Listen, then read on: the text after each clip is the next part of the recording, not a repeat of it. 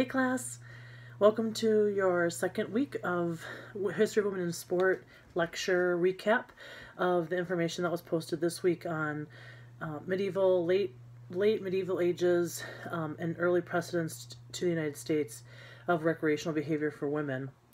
Uh, I'm, going to do two videos just to make them a little bit shorter um, so you actually have a natural breaking point in the information from this week. Um, also, just because it, I have found that it seems to be a little bit easier to upload them when I have them just a little bit shorter. So, um, I'm going to be talking about middle to late ages first and some early influences on the United States. Um, and through the strong women, the story about the strong women, the information about the strong women. We'll take a little break, and then the next video will be about um, the early sort of activities, sporting and recreational activities of women um, when we first started to see that happen in the United States of America. So, um, to get kicked off with middle late um, ages and sort of the changing things that we saw in terms of the influence on women's recreational activities and behaviors compared to the ancient times, um, we started to see some um, changes in how women interact with each other. They tended to work more together. Um, I, uh, oh, I, I want to make sure that we know that the Middle Ages are are the medieval ages, or the Middle Ages, same kind of same kind of de definition of time era. Um, we're talking about 476, right from the fall of Rome, which is the end of the ancient era, to about 1500, um, which is like the early Renaissance era. So, um, and the beginning of the early modern era. Um, so anyway, um, we saw we started to see women working more as a cohort. They were working together more. You started to see them sort of group interacting more in the medieval ages.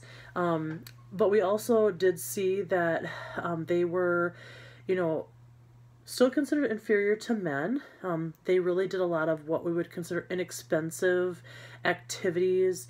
Um, like dancing, running, tumbling, swimming, dice games. Um, but we also did get documentation of women doing some wrestling, so a little bit more of an aggressive um, activity for women, and of course an interactive activity for women, not something that as is is as singular as an activity like dancing and walking and boating and those things that we were very accustomed to reading about and understanding about the ancient um, women and the way that they they sort of behaved. Um, I want to draw your attention to the um, the slide that talks about jousting, uh, because that was a very popular activity for men in the medieval ages. Is was these jousting matches, um, and these tournaments that they competed in against one another.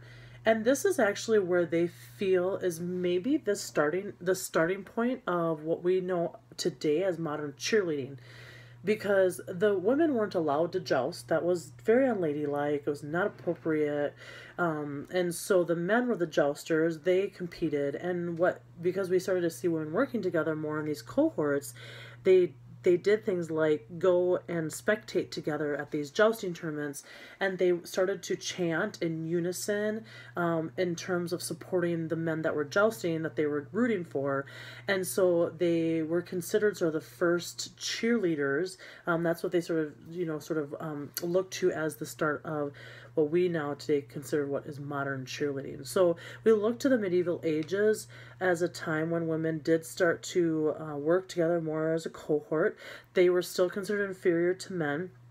Um, but they did participate in activities, typically inexpensive ones, like I said, dancing, wrestling, running, tumbling, um, swimming, dice games, and we believe that this is probably where women, we saw the starting of women um, participating as cheerleaders, and why we still really think of it traditionally as a female activity or a female um, effort. Uh, you know, it's still, we still have this feeling as a society that it's strange to have male cheerleaders.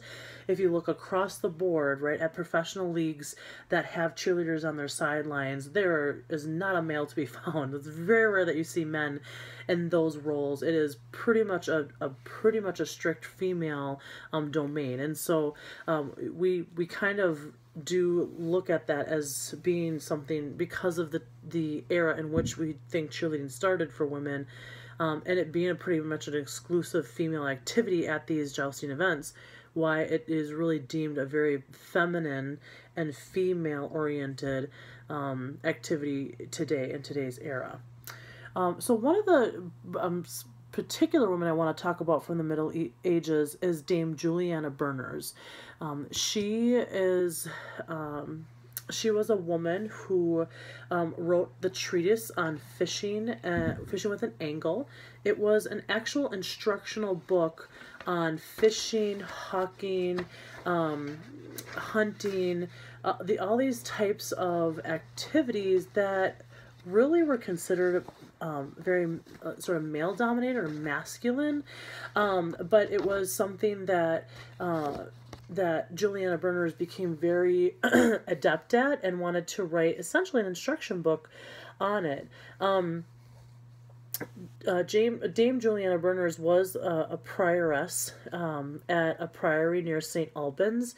And so, this book that she wrote, the Treatise um, of Fishing with an Angle, was from the Book of St. Albans. And it's the first known instructional essay on how to fish and, like I said, hawking and hunting. Um, and she was believed to uh, have been raised as in like a courtship life, but she went on to a life of religion, um, and she maintained through her life, uh, her sort of life in this religious realm, her love of hawking and hunting and fishing and all these sort of outdoor activities. Again, that were mostly male dominated, um, but she became so good at these activities that she wanted to write this instructional manual for them. And so she is um, noted as the first female to write instructional essay or instructional manual on these gamesmanship activities that um, again were traditionally male dominated but that she was very good at and adept at and then wanted to create uh, sort of instructional pamphlet, manual, brochure, essay, however you want to sort of coin it, um, on uh, so that other people could learn how to do these activities as well. Um, so she's a very prominent woman to know from the Middle Ages, Dame Juliana Berners. Treatise of Fishing with an Angle from the Book of St. Albans. Um, it's a again a very important essay to know, um, and a very important woman to know because we see for the first time a woman giving instructions on an activity that is considered more of a, a masculine activity um, performed in her case by a woman and not only performed by a woman but and being instructed by a woman um, so when we when we leave um, the story of Dame Juliana Berners, we head into the late um, middle and early modern era or ages. Um, and then we're talking about the 1500 to about the 1800s. Um, we started to see that women were starting to push domestic roles. Um, they had to help with economic stability in their homes. And so we started to see that was one of the reasons women started to sort of push this idea of what really it meant to be female and a woman in a, in a domestic setting and environment. Um, we did also start to see a shift in how women interacted with one another physically because they started to participate in what we would consider more like team like sports. So mob ball stool ball um, these are these are activities that are um, considered more like team like sports. Now mob ball is like modern day football american football. Um, and um, uh, stool ball is more like cricket. Um, and so they, so it required a lot of people to participate, right? They had, you know, the two sides competing against each other. Um, and so it was, you know, it was something that obviously a lot of people could participate in, and it created uh, the sense of community with these women who um, played together. Um, and so you know they carried over these activities that they typically that they typically considered of, female like standard female activities like you know running ball games um, swimming dancing bowling. Um, but then they added these other team sort of activities um, that they would do together uh, as part of the recreational habits. So that was a nice shift and change that we saw in what the females were participating in and taking taking part in um, in their activities. Uh, in your PowerPoint, you'll see illustrations, a documentation of women participating in these activities, and that's how we do know that they did some of these activities um, in their free time and their pastime together. Um, and there is sort of an indication that maybe there was some mixed uh, competition or participation, mixed gender participation or mixed sexes, um, but there isn't a lot of like written documentation of that. Um, but we can tell from some of the illustrations that have that the activities documented that maybe there's some sort of like you know interaction of men, men and women together participating in these types of activities. Um, so much like we talked about Dame Juliana Berners in the medieval ages, we need to talk about Mary, Queen of Scots, um, as part of the early modern ages. Um, and she is important because um, while she was the Queen Regnant of Scotland, um, and the queen consort from, of France at different times in her life, she was an avid golfer. She was active um, in golfing, and she a, a really you know is known and, to be quite a um, avid and good golfer. Um, she they they considered her to be the person that coined the term caddy because she called the assistants that helped her on the course her cadets, and so um, they um, and the and those cadets were the ones that carried the club for, the clubs for royalty um, on the different courses that they participated in. And this course was no different um, for uh, Mary Queen of Scots, and so she is she's um, credited for coining that term. Um, caddy uh, so that's one of the things that we sort of um, attribute to her uh, and because of her um, connection to the game of golf. But the other thing that we contribute to her, uh, attribute to her, sorry, and is really the more important thing, um, is her helping to build the the um, old St Andrews Golf Course in Scotland, um, and and this is obviously very notable because St Andrews Golf Course is one of the most historic and known, well known golf courses in the world, if not one of the most well known, iconic um, sport venues in the world. Um, and she, that course was built during her reign. Um, and so, um, you know, it's ironic because Old St. Old St. Andrews Golf Course um, didn't allow women to play and participate or even come and, and enter St. Andrews Golf Course. Um, even up until like I think it was 2007 was the first time they had women participate in any kind of championship on Old St. Andrews Golf Course. There was a new course that was built um, in the late or mid to late 1800s that was considered um, the first ladies golf club um, but it is really ironic that this this iconic and well-known golf course um, that it, that was built during Mary Queen of Scots' reign, and really she was sort of the driving force behind it being built, didn't allow women to participate um, or even enter its grounds for many, many years, um, hundreds of years really, from the time it was was built. Um, and then uh, when it did, it was um, it was because they built another alternative course that was just for women. Um, and so again, it wasn't until sort of the um, about 2007 when they allowed women and they held a first women's championship at Old St. Andrews Golf Course. There was even like until recently there was actually a sign that they had kept up, up behind the clubhouse um, that was a sign that actually said um, no dogs or women allowed on the course at Old St. Andrews course. Um, so sort of a relic uh, and what was sort of a hearkening to what how they used to see um, the women's role at Old St. Andrews Golf Course. Um, so Mary Queen of Scots, known for coining the term cadet and known for being the driving force behind the building of um, the construction of the development of this Old St. Andrews Golf Course. Um, so other um, sort of influences on um, the development of recreational activities in the United States really have to do with what was happening um, things that were going on, particularly in Europe, because that's what tended to influence um, and impact the activity level and the things that women in the United States became accustomed to. Um, so we want to look at the early precedents in the United States by looking at um, influences from European um, culture um, that that sort of made those tended to what help help that shift happen in the United States for women in their recreational and sporting activities.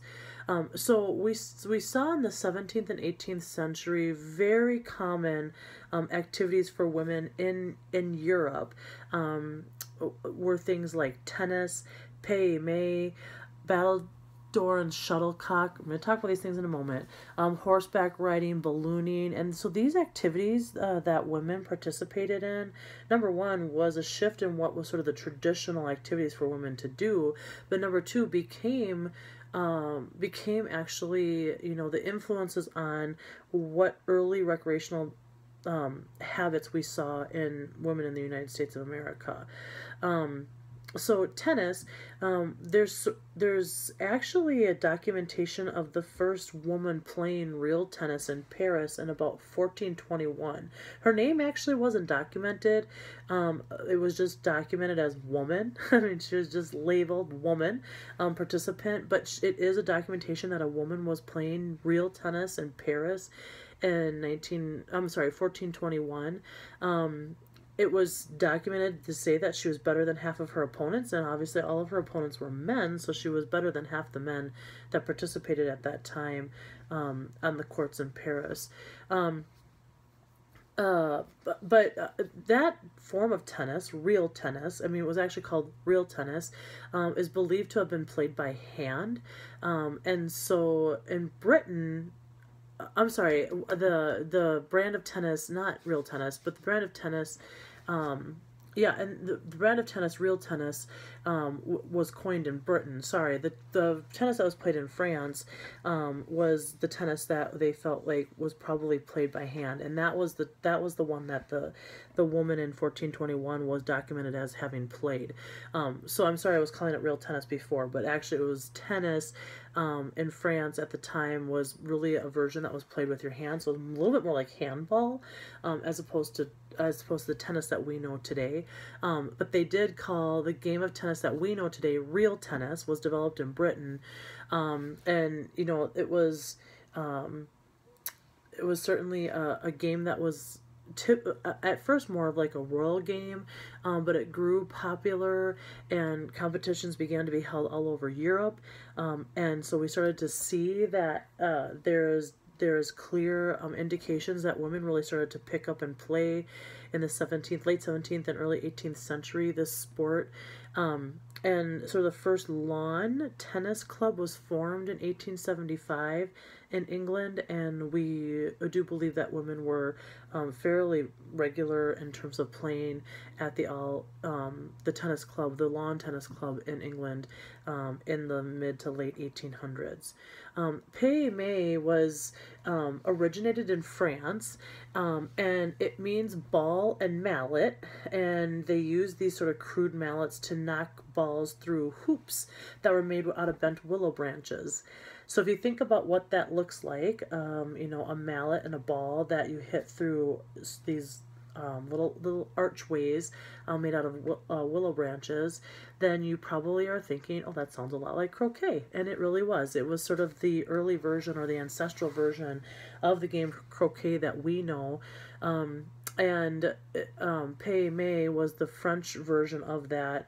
Um, in England, it was called Pele Mele, and um, and then Pall Mall was what eventually it was called more regularly, and then in America we called it croquet. Um, but that was definitely an activity that women participated in in Europe, in France, in Britain, um, and many other countries across the European um, continent. Uh, and then battledore and shuttlecock. This is uh, probably another um, sport that you actually know better than you might think, not maybe so much by the name that it was traditionally called. But this is played with two persons and rack small rackets and a little battle um, battledore that is made out of um, parchment and um, and um, I'm sorry, battledores that are made out of parchment and rows of um, gut stretched across wooden frames. That's the racket part. And then the shuttlecock um, was sort of like uh, cork and trimmed feathers that were um, fit around the cork. Um, and so that probably to you, you know, hitting this sort of, um, hitting the shuttlecock across this net, um, two people going back and forth, that probably sounds a lot like badminton to you. And that's exactly what we in America um, call ba- shuttle, battledore and shuttlecock is badminton. Um, so we know that sport is badminton and that was definitely, again, another sport that women tended to play in the 17th and 18th century across Europe. Horseback racing um, was definitely starting to grow in terms of women participation. The first well known female jockey to race, to actually race, was Alicia Meynell. Um, Alicia, I'm sorry, Alicia Meynell. Um, she, um, the first race she competed in was in a four mile racetrack in York, England. Um, uh, her first competition was probably they think in the late 1700s maybe as late as like the early 1800s 1804 05 um, and she actually became the only woman known and documented and listed in the records of the england's jockey club to have raced um, and actually won against men until about 1940 so it was a long time before we saw another woman um, racing. Now, women were horseback riding, this was very common and normal, but it was much more recreationally or sort of like, you know, as a habit, um, or I'm sorry, not habit, as a hobby. Um, but Alicia Meynell uh, was certainly the first well-known, well-known female jockey to race um, and to beat her male counterparts that she was racing against. And speaking of well-known women um, and their abilities, you know, and their abilities like Alicia Meynell, we also know of two women who were really um, accomplished ballooners. Um, and so ballooning was really popular for women, particularly in the 18th century to the early 19th century. Um, Elizabeth Thibault of Lyon, France, um, was the first woman to soar in a hot air balloon. Um, and and um, and then another French woman, Jeannie Labrosse, Labrosse made a, her first made the first solo balloon flight in 1798. But the most notable woman um, ballooner was a French woman um, by the name of um, Sophie Blanchard.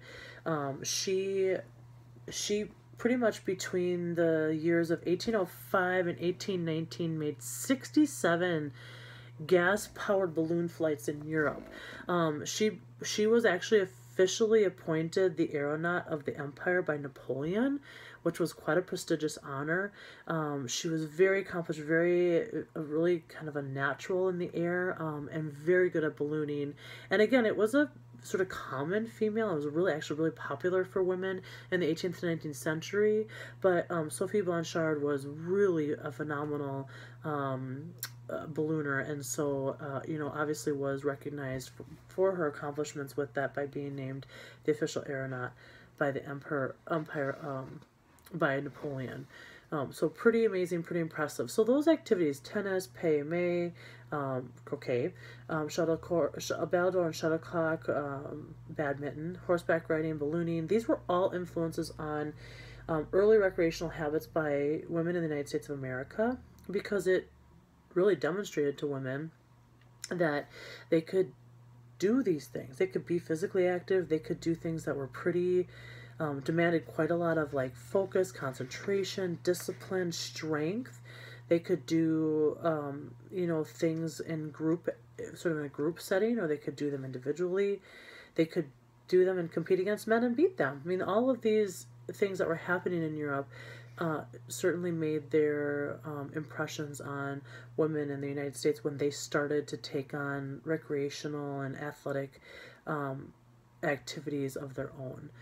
Um, so those are important things to know. Um, Alicia Meynell, Elizabeth Thibault, Thibault, and um, Sophie Blanchard are names that you should probably be aware of, and know and know why they are important and what activities, what sports that they were a part of. Um, the sort of last big thing I want to talk about with influences on um, early American recreational habit um, is from the Victorian age and and and to talk about boxing. Um, boxing was actually a really um, a very uh, obviously like very physical activity, um, one that we probably wouldn't typically consider if we wanted to use the classifications of feminine and masculine. Um, but it was um, something that we started to see in the Victorian age, which was about 1830s, 30s, like 1835 to about the 1900s. That was considered the Victorian age um, in England. We saw um, female combatants were women who were like really mentally tough. They had typically very little to lose. Um, you know, they were probably already treated like prostitutes and were lower class women um, and who, who were treated terribly in general anyway and so boxing for them was sort of the way out for them um, out of that lifestyle. Um, they had a women boxers had a lot of pride um, and they really had sort of this goddess mentality uh, and so they learned to have a lot of like confidence and pride in themselves when they trained as boxers and fought as boxers. Um, it was something that uh, when women did box in this era, they actually um, were, it was sort of more extreme than ring boxing that we know of today. It was actually probably a little bit more like mixed martial arts because they they really could sort of fight any way that they they could. They could punch, they could use their feet, um, they could use their knees, so they could kick or they could lift um, the other woman off the mat. I mean, they did, they fought in all different kinds of ways. They could maul, scratch, throw you. Um, there was oftentimes lots of injuries to the fighters. Um, but it was something that um, became very like intense and interesting to people was to see these women combatants. It was almost kind of like the allure of female gladiators, the gladiatrices, because we started to see um, people were like really intrigued are women able to do this kind of physical exertion and like actual physical contact with one another um, you know and put themselves in these sort of like sweaty bloody bare-breasted com- combatant situations. Um, and you know so what ended up happening was there was there tended to be just crowds of men um, you know watching and betting on the outcome of how these women would compete and fight against one another. So it became a pretty popular activity um, that we saw women participate in. Um, probably the most famous female boxer during this era was Elizabeth Wilkinson Stokes. Um, she was probably the most popular um, or famous of all the female boxers um, in London. Um, she um, she was known for fighting with not only like every kind of sort of physical uh, um, approach that you could think of, but um, she also tended to use weapons as well. Um, so again, we you know we um, we think of maybe that their boxing was a little bit more like our contemporary MMA, you know, mixed martial arts, um, and they really found places to fight in any kind of corner they could. You know, it could have been like fighting in the streets. They could have fought in sport arenas, theaters, um, and eventually they didn't just fight women to women. They would fight women and men. Um, and again, they became sort of just kind of an open-ended. You know, it's really just fighting to fight, not even boxing. I mean, it started out as sort of a, the idea of boxing, but again, with the ability to bring in weapons and use any kind of like sort of physical approach to um, striking your opponent that you can think of. It was something that sort of expanded beyond what our traditional thought of boxing might be. So again, Elizabeth Wilkinson Stokes, the most well-known female boxer, um, boxing having grown in popularity during the Victorian age, which is again 1937, 35, 37 to the early 1900s. Um, and so this was, you know, this was a big shift in terms of what women when they started to see this happening, like, whoa, what women can do. And for women to think that way and for men to think that way. Um, so you can, when you look at your slideshow, you'll see um, a video um, that you can click on. It's a, a link to a video that is about Victorian women. So you can see sort of some other interesting like fitness, exercise, and gymnastics activities of women in the Victorian era when you watch that little um, link, then when you click on that link and watch that video. Um, so I think that it's great to talk about boxing and then end the sort of section talking about strong women. Um, and this actually, um, you read you read an article and you looked at some videos and you read um, some things specifically about strong, specifically about strong women, um, and you read about uh, three particular people in your readings Athleta, Sandwina, and Vulcana. These are three of probably the more famous strong women. Um, in um, the era of, of of strong women. Um, so you know, I always am curious what you think of. What do you think when you read that? You know, read that primary article, Sisterhood of Strength. What you think of um, women and how they performed and um, why men enjoyed it. You know, what what was it about these women that men enjoyed? Because you know, you really think about sort of the traditional image of women and what men tended to like and they didn't want to see them physically exert themselves certainly and of course if they didn't want to see that they certainly didn't want to see women with you know musculature like clear musculature um, ex- showing um, strength that was probably beyond what their ability in terms of strength was um, I mean, these women were legitimately lifting. If you watch the montage that I, but that is in the PowerPoint, um, you will see some amazing feats that these women were able to do. What they're lifting. I mean, lifting men, multiple men at one time. Um, um lifting horses. You know, uh, just weights that just seem not humanly normal. Like it just doesn't seem humanly possible. Um, and these women, you know, looking not massive, but you can tell they're strong, they're fit. Um, and obviously, they've trained to be able to do some of these amazing feats. Um, so, you know, they oftentimes, you know, I think it's interesting because oftentimes strong women, when they're described, described they're described as Amazonian, Amazonian, like Amazonian like. Um, so, of course, that sort of uh, is a reflection of what we learned about with the Amazon women. Um, and their influence as a symbol of, of female strength. Um, and so I think it's kind of a neat connection that these strong women oftentimes were described as Amazonian women.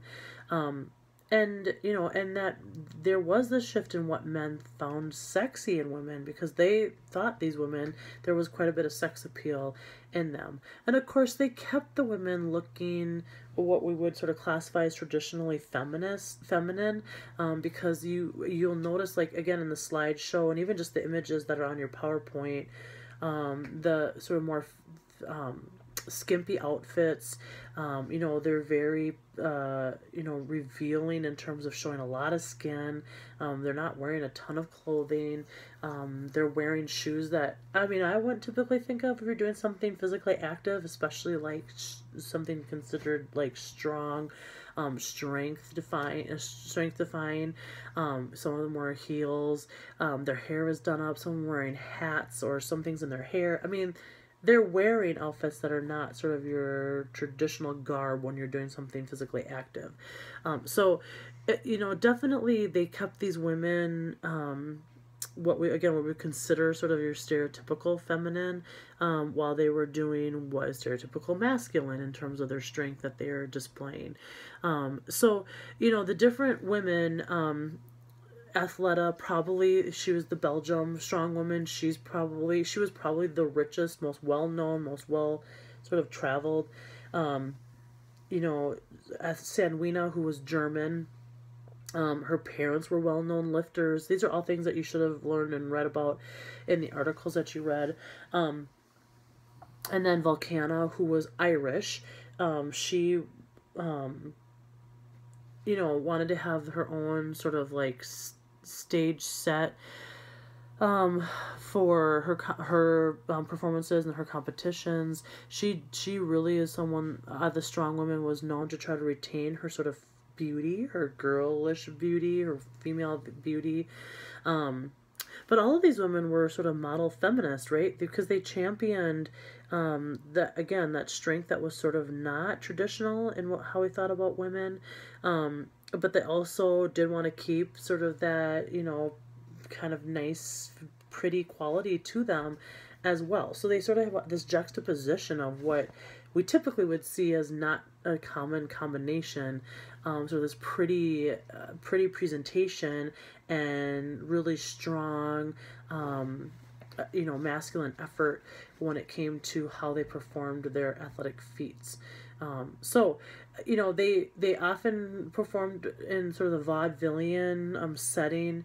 Um, they started to perform all over the place like they were traveling. I mean these women really made a mark in terms of what women could do not only just physically but then how and where they performed um, drawing crowds drawing crowds of men and women um, you know appealing to a wide variety of people uh, and sort of making money doing it. Like that was a whole nother level of um, accomplishment as well. So the strong women were really a phenomenal um, accomplishment and pretty, well, pretty cool piece of history when we look at like women athletes and accomplishments because of what they were able to do not just physically what they were able to do but in terms of entertainment being paid for what they did physically that was a pretty um, amazing and novel concept as well um, so again, you can take a look at the photo montage. I think that's a pretty cool thing to look at because you get to see all these images of different strong women, and they are all legitimate women who are documented as strong women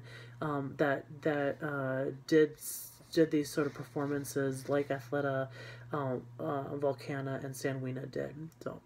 Um, take a little break, and then when you come back, you'll have your second video um, ready to go for you, and we'll talk about early influences on um, early activities in women's recreational behaviors in America.